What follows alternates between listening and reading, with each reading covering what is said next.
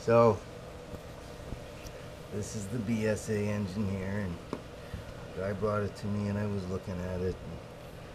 If you look inside the cylinder, real close, you can see these lines that go around it, and you can see these all these little marks are like hollow spots there. That's where the piston rings were sitting when it was stored over the years with moisture. Here you can actually see like the shape of the piston ring making the rusty marks along the wall. Well, the guy, even though he cleaned it up, I can feel that, you know, those are like holes. It's like hollow there.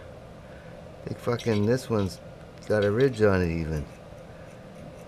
So when the piston ring goes by that, it's going to be shaking it and maybe bust it.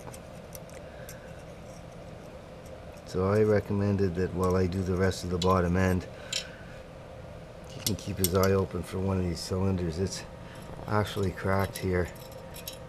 Someone's rounded it off on the edge and everything and the piston rings don't go down that far but that could possibly crack some more. So, see what happened with the cylinder here. Or the cylinder head here. It's got uh, cracks in it and chunks missing out of it. There's actually, I believe, six places where there's pieces missing. I haven't tested the valves to see if they leak yet.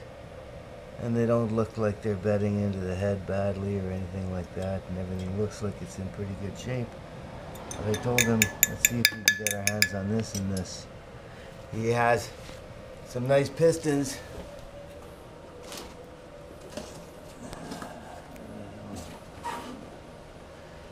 Sure where I put the pistons, but he has a nice pair of pistons.